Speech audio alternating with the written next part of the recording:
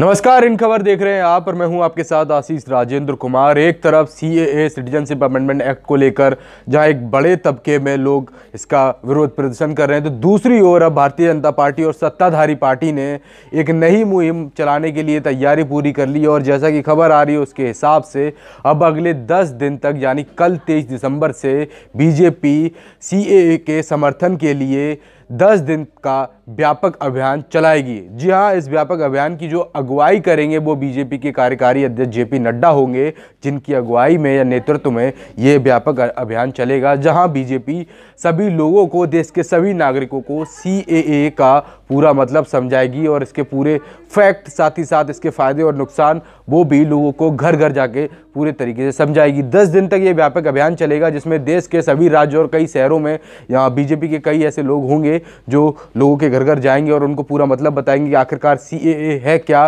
क्यों नागरिकता संशोधन कानून को लाया गया है और इसका क्या मकसद है? ये सारी बातें बीजेपी की ओर से रखी जाएँगी और पूरे तौर से इसका समर्थन किया जाएगा। अगर समर्थन की बातचीत की है तो महाराष्ट्र के नागपुर में आज आरएसएस और कई सारे ऐसे सहयोगी दल हैं बीजेपी के साथ में जो एक मार्च निकाल रहे हैं सीए के समर्थन के लिए और सुबह से वो रैली जा रही है। तो दूसरी ओर देश के प्रधानमंत्री नरेंद्र मोदी आज दिल्ली के रामलीला मैदान में सीएए को लेकर एक रैली बुलाई है और उसको संबोधित करेंगे। थोड़ी देर में वो संबोधित करने वाले हैं क्योंकि फ़िलहाल सभी बीजेपी के नेता हंसराज, जो कि सांसद है बीजेपी की, वो भी वहाँ पहुँच चुके हैं और मोदी जी भी थोड़ी ही देर में लोगों को संबोधित करने के लिए तैयार हैं और वो बताएँगे साफ़ तौर पर कि आखिरकार सी का क्या अर्थ है।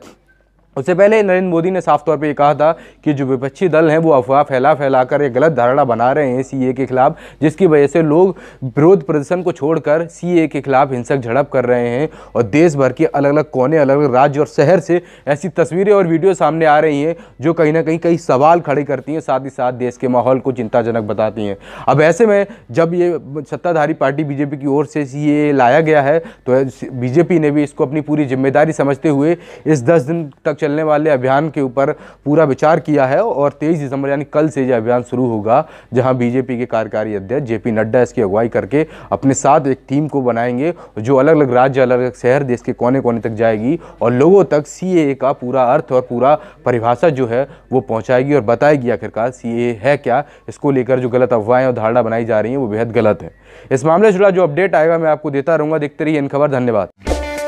इन खबर चैनल को सब्सक्राइब करें और बेल आइकन दबाना ना भूलें।